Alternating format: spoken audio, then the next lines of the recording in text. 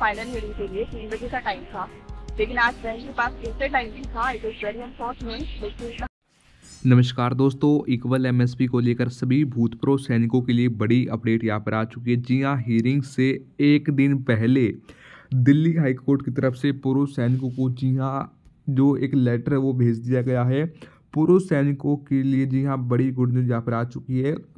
यहाँ पर। आप देख सकते हो the High Court of Delhi at New Delhi की तरफ़ से यहाँ पर ये लेटर जारी हो चुका है। तो जो जैसा कि आपको बताया कि कल है 21 नवंबर और कल दिल्ली हाई कोर्ट के अंदर यहाँ पर हियरिंग है।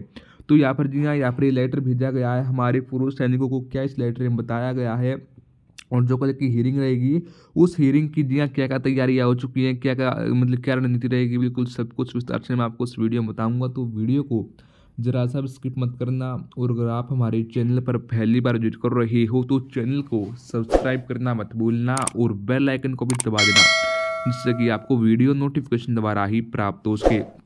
सबसे पहले यहाँ पर मैं आपको दिखा दूँ कि जो 9 नवंबर को जो हियरिंग हुई थी, उस हियरिंग में यहाँ पर जी हाँ जो दिल्ली हाई कोर्ट के द्वारा यहाँ पर पूर्व सैनिकों को, के हक में जो फैसला था, वो सुनाया गया था और यहाँ पर जी हाँ जो सरकारी वकील थे, जो सरकारी की तरफ़ से केस लड़ रहे थे उनको यहाँ पर एक ज़बरदस्त फटकार दी गई थी कि यहाँ पर आपके पास कोई भी ऐसे ठोस सबूत नहीं है कि जिसकी वजह से हम हमारे पूर्व सैनिकों को जो एम एस पी है पंद्रह हज़ार पाँच सौ, वो ना दे।